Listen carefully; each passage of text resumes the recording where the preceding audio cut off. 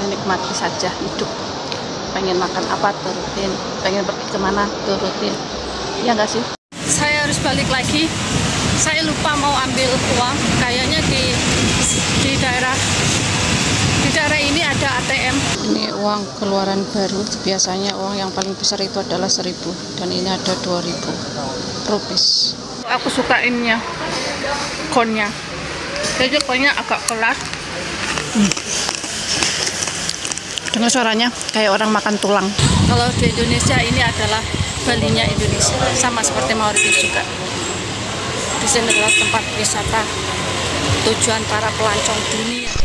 Rame guys. Banyak sekali yang berlalu lalang di sini seperti pelancong-pelancong mancanegara. Itu rame banget kan? Karena kalau siang panas jadi mereka lebih suka jalan-jalan